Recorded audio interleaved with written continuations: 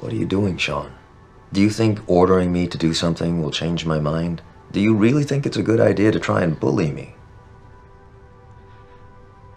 I am a nerd.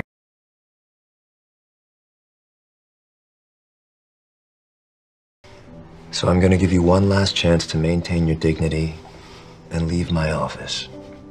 Now. I am a nerd.